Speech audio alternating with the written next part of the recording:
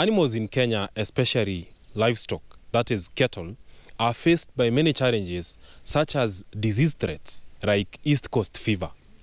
In today's episode of The Resident Vet, we are going to bring you some of the solutions from the Veterinary Research Institute here in Muguga about some of the technologies that farmers can adopt to fight this Kira disease.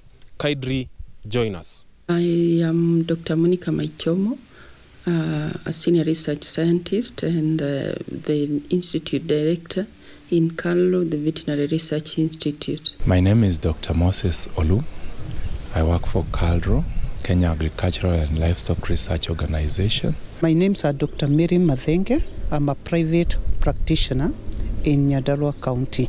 Uh, the Veterinary Research Institute is one of the 17 institutes in KALRO and uh, with a mandate of uh, research into issues of animal health and animal welfare.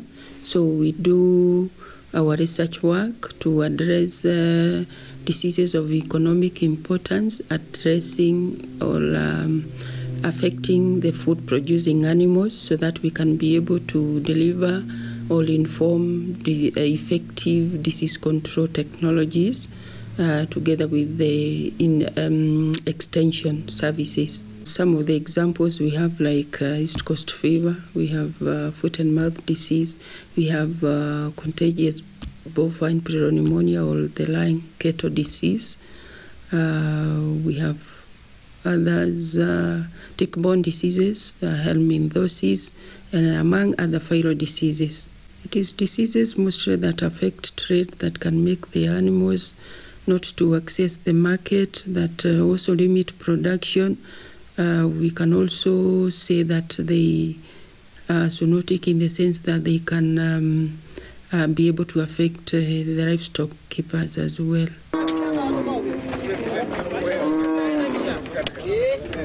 East Coast fever is a disease of cattle. It affects only cattle and uh, most of the time if your cattle have not been exposed to this pathogen before then most of the time they die from this disease. And local uh, animals do not show many uh, serious clinical signs of ECF but the exotic breeds the uh, the dairy breeds that we keep show serious severe clinical signs. So where this disease is brought by about by ticks it's called the brown ear tick, and because it's called the brown ear tick, it sticks uh, on the ears and around the perineum of the cow, the tail of the cow. So when it sticks there, then it transmits the the disease to the animals, and they get sick and come down with ECF. And when uh, your animals get ECF, for milking cows, first you notice a severe drop in milk the volume of milk that you get from the animal goes down. The animal will stop eating, and thereafter you'll see tearing. The animal will start shedding tears as well as swelling of the lymph nodes around the neck. You're able to notice, and around the ears, you'll notice swellings. These are lymph nodes that swell once the disease is in the animal. Then, uh, as the disease progresses, the animal will develop difficulty in breathing and finally die because fluids come from the body into the lungs and they uh, stop the animal from breathing normally. Then that is what causes the death of the animal. From the so many years of my practice, um, we have seen this ECF disease is a threat in Nyandarua County.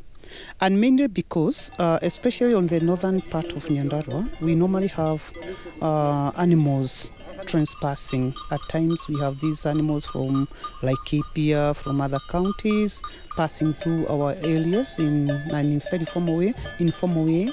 And um, so, and then again, there is also a lot of buying of uh, hay from different places whereby we are not sure about the biosecurity measures um, in such a way that uh, our animals are always at a threat of infection by ECF, dis, um, East Coast fever disease. And so we feel that it is very timely. It is very timely because we want to use the approach of farm biosecurity measures, whereby we need to have good um, tick, con- uh, tick control plans uh, good um, feed and fodder plants, as methods of uh, tick control, uh, as methods of better farming uh, systems in order to reduce on uh, usage of antibiotics on our animals by through control, uh, infection prevention control measures, whereby the animals don't have to get sick, you, you prevent. And so, immunization or, or vaccination is also another method of um, uh, it's also another method of reducing usage of um, antibiotics because it's an infection prevention control measure. The training is very important because this disease is unique. We call it the uh, infection and treatment method. In essence, we are using a live organism. It's a very crude method of vaccination, so it requires a lot of care in terms of its delivery. It has to deliver the right dosage at the right uh, parameters. So that is why we want to train them so that uh, we do not have a lot of breakthroughs because of the live um, uh, pathogen. And then uh, they have to monitor the vital parameters in case of a breakthrough because we can get like 5 to 10% breakthrough infection, then they can be able to treat and ensure that the farmer does not lose their uninvaluable animals. This tick, um, uh, this ECF vac- uh, vaccination training, it's a new technology, and um, most of us, by the time we were completing our schools, our uh, training, this um, training was not well endowed in us, and so we feel that um, uh, undertaking this uh, training is a golden opportunity because now we'll be able to help our farmers in order to ensure that using the infection prevention control measure through vaccinations, we're going to bring the disease down. The research on this vaccine was done in the 70s and the 80s, the last century. So, over time, because the disease is a serious challenge, farmers were looking for a solution. And uh, this, disease, this vaccine was, has been adopted in the last 10 years by farmers. So, the disease, uh, the vaccine is uh, a live pathogen. The causative, what causes East Coast fever, is what we use for vaccinating these animals. So, this is prepared from in the lab, and uh, the ticks are infected with this pathogen, and the ticks are used to make the vaccine. Thereafter, the ticks are used, are crushed, and this is what we use for vaccinating these animals. There are two versions of the vaccine. We have the Muguga cocktail, which is a combination of three strains. There is Kiambu 5, there is a Serengeti trans, uh, uh, transformed, and uh, uh, another one. And then we have the Marikebuni vaccine, it's all strain, which was obtained from the coastal part of Kenya. And uh, both of both variants, uh, the beauty is that they they attain seventy percent both homologous and heterologous uh, coverage uh, across the different uh, strains that are found in the country. This is a live vaccine. So, live vaccine means that it can cause that disease if not used properly. So, unlike other vaccines that are out there in the market, this uh, is a different vaccine, and that's why uh, veterinarians have to go through this special training to ensure that instead uh, that animals get uh, get protected with this vaccine instead of getting them ill because of the live nature of this vaccine. So we have had problems and reports previously where people have used this vaccine, people who are not trained, and animals have come down with East Coast fever. So, because we need to uh, stop that, therefore, we are training them on how to effectively use this vaccine. We, we have uh, received very good results uh, using the um, government farms. For example, KALRO has large farms where they faced uh, a lot of uh, cattle mortalities, especially in the buffalo corridors. And once we did the vaccination for them, that problem was resolved. We've worked with ranchers both in the coast and also in Laikipia and pastoral communities, including dairy farms.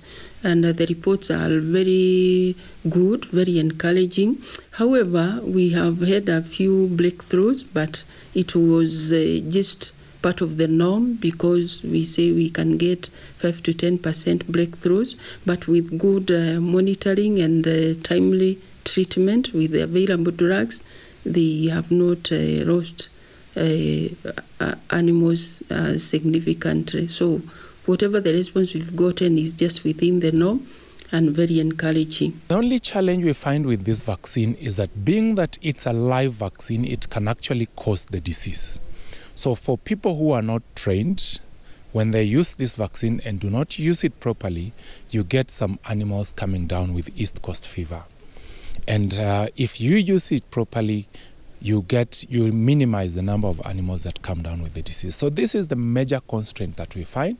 The other constraint that has been mentioned is the cost of the vaccine compared to other vaccines that cost far much less.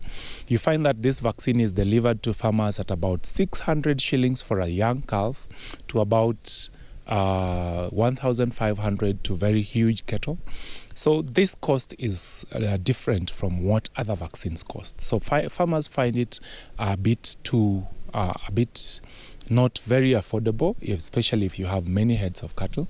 But comparing to the cost of treating an animal that comes down with ECF, which is about 4,000 to 6,000 shillings, this vaccine still gives you much more economic uh, value for your money. We have um, working on a novel uh, CBPP subunit vaccine uh, uh, that is contagious bovine pneumonia or simply known as the lung cattle disease and um, working to develop uh, a more efficacious vaccine because the available contavax uh, it has uh, challenges of uh, uh, or death at the necrosis at the injection site. So we are right now at uh, um, testing the laboratory proteins. And uh, so far, we have just concluded that on station trial. The results are promising and very good, and then we'll be able to take the validation of the commercial uh, batch to the next uh, step and hope that soon we'll have uh, a more efficacious vaccine for controlling CBPP. We have also continued uh, doing other works. We are working on uh, building on that uh, vaccine uh, development uh, infrastructure. We are working on other vaccines like uh, CCPP, that's the lung um, disease of goats. And we are also working on a vaccine on camel mastitis and uh, among other which are another work we are doing is on how to combine vaccines for poultry like for example working on combined newcastle disease and ibd that's Gumboro The reason as to why the vaccine was brought about is because of the, the losses that farmers get. ECF is documented to cost about 1 billion US dollars in East and Southern Africa. So this is quite some money and it comes in the form of therapeutics used, medicines used for treating these animals and the animals that actually die from the disease. So if the vaccine is used, then we cut down on these losses. The other thing is that uh, acaricides that are used for controlling ticks have developed a lot of resistance and they are now not working properly. So these challenges are get making farmers look for alternatives. And the safest alternative as we talk to today is the vaccine. The other thing is that the acaricides that we use are also pollutants of the environment. When they pollute the environment, then it makes it unsafe for human health. my call and my advisory to the farmers is that this disease is expensive and uh, causes a lot of challenge uh, but uh, they need to consult the health providers the qualified ones the trained ones because solutions are there uh, we recommend uh, hard uh, pro- uh, uh, protection or uh, at harder level so that they can do the vaccinations. And uh, once we attain like uh, 80% coverage in their herds the, the assumption is that we'll be able to attain the herd immunity. So those options are available. They should consult their service providers who are trusted and uh, they'll be able to get the solutions. That's the first line of defense. And if the animals uh, uh, fall sick in case of a breakthrough, then drugs are available for treatment. The animal health sector in Kenya faces many challenges, including pests and diseases. And with the novel technologies such as vaccination, that has been developed by Kenya and Agricultural Research Institute, it is possible to convert some of these losses into gains so that farmers can earn better from their agribusinesses. That is all we had for you in today's episode of The Resident Vet. Until next time, bye bye.